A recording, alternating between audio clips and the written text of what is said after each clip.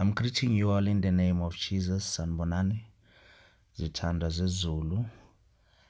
Um isabatha elihle ngithanda ukubonga ithuba ngithe ngaphiwa lona ukuthi ngikwazi ukukhuluma ngendaba ezinhle zikaSimakade. Eh usonini nanini umqalisi nomphelelisi wako konke okuhle nokuphilayo. Um, my text of consideration is situated in the book of Acts, chapter 9, verses 1 to 5. Acts chapter 9, verses 1 to 5. Now, Saul, still breathing threats and murder against the disciples of the Lord, went to the high priest. He asked for the letters from him to the synagogue at Damascus, uh, so that if he found any belonging to the way, both men and women, he might bring them bound to Jerusalem. As he was traveling, it happened that he was approaching Damascus, and suddenly a light from heaven flashed around him. And he fell to the ground and heard a voice saying to him, Saul, Saul, why are you persecuting me? And he said, Who are you, Lord? And he said, I am Jesus whom you are persecuting. uNkulunkulu abusise ukufunda kwezwi lakhe. Amen. Verse 1 and verse 2 is actually laying out in plain terms that Saul is unapologetically passionate without patience about persecuting the disciples of God.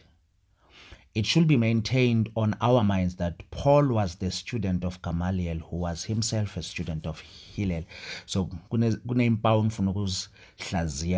before we begin to enjoy the theological principles kept in this chapter. Now, Hillel in his era was uh, a perfect representation of Judaism, and through the process of mentorship, he uploaded himself to Gamaliel who also became a perfect representation of Judaism. And through the process of mentorship, he also uploaded himself to Saul, who in his time became a perfect representation of Judaism. So this means that in the person of Saul, Christianity was persecuted by the very essence of Judaism. This suggests that the proclamation of the gospel of Jesus Christ by his disciples was so effective that the existence of Judaism was threatened. I've got to repeat this one so that you may understand the following submission. This suggests that the proclamation of the gospel of Jesus Christ by his disciples was so effective that the existence of Judaism was threatened. This event was establishing what I call the marking rubric for the progress of the gospel, in that we know that the gospel of Jesus Christ is successfully preached when the existence of the enemy has been threatened. I have got to repeat this one.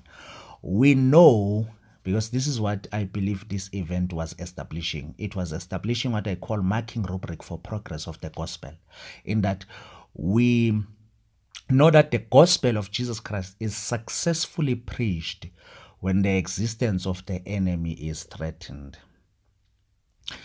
As for as long as the enemy is still covered and comfortable, we have not started to preach.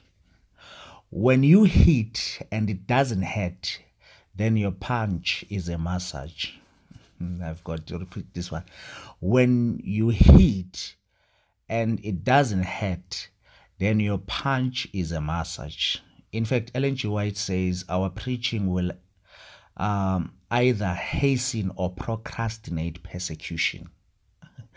Our preaching will either um, um, hasten or procrastinate persecutions. The problem of Saul is not Jesus. I have got to I have got to make this um, submission. I'm using the term Christ here as a substitute for the term Messiah because the term Christ is taken from the Greek word Christos, which means the anointed one or Messiah. So now the problem of Saul is not Jesus Christ. You know, The, the problem of Saul is not the Messiah. Um, but the problem of Saul is the one who is referred to as Jesus Christ. Follow me very carefully. According to Judaism, don't forget that Paul was representing the essence of Judaism. According to Judaism, Jesus Christ is not the son of Mary because the son of Mary comes from Nazareth and there's nothing good that can come out of Nazareth. The son of Mary was born in a manger, and the Messiah cannot have royal credentials and be born in a manger at the same time. the son of Mary has never worn a military attire and a sword in his hand. How can he be of David's descent when he is not aiming at waging war against Romans? So the son of Mary didn't match the Jewish criteria of expectations. You see, the problem with Jews is that they are used to understanding God from the Ark of the Covenant, which is two and a half cubits long, a cubit and a half wide, and a cubit and half high. They fall into a trap of calculating how God should operate. They prayed for the Messiah and decided amongst themselves as to who he should be, what he should do, who he should associate himself with, and what should he say. This attitude made them to continue praying an answered prayer. You've I've got to repeat this one. This attitude made them to continue to pray a prayer that has already been answered. I hope you're following this one.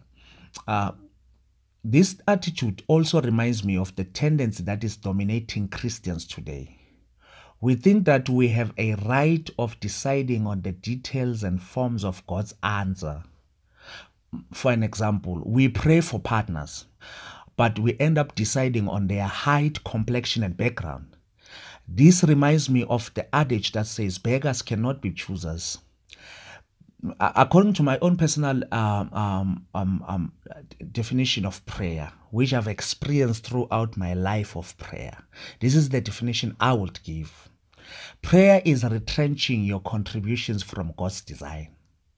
Prayer is retrenching your contributions from God's design.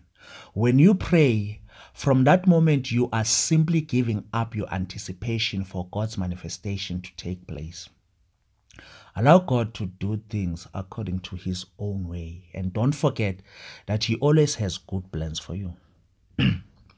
what is disturbing about Jews is that Jesus didn't come to them in mysterious ways. Everything He was was written in the Jewish Bible. All the prophetic oracles about the Messiah were in their hands, but they failed the test of his coming dismally. Jesus used to ask them as to how do they read. Quite frequently, Jesus would make mention of himself in the scriptures, but still they could not understand. I think I know the problem here. Peter once said to Jesus, when Jesus asked his disciples, Who do you say I am? Jesus, uh, I mean, Peter respond, responded and said, you are the Messiah, the anointed one, the one who was to come. And Jesus said to him, What you have just said to me right now has not been revealed to you by flesh and blood, by, but by the Spirit of the living God. Follow.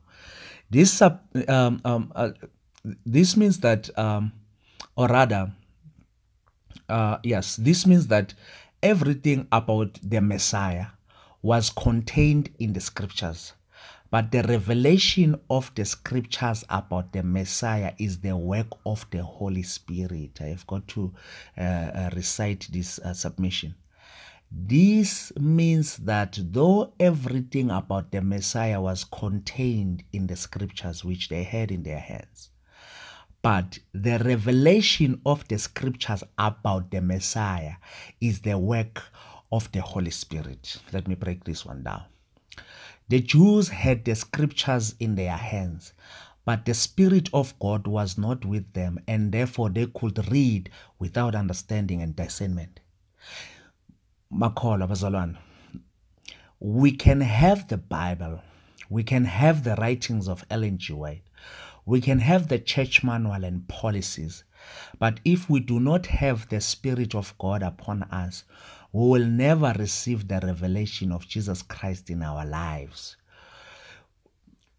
We will wear, you will wear a long skate to church with a short temper. Uh, we will have healthy diets with sinful records. We will, we will be pathfinders with no path to find.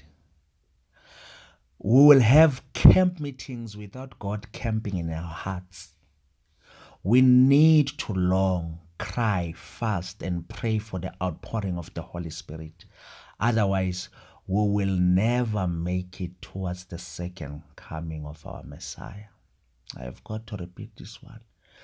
We need to long, cry, fast, and pray for the outpouring of the Holy Spirit. Otherwise, we will never make it towards the second coming of the Messiah. Remember, isikhathi asisekho makholwa. Nkosi yomusa inibusise.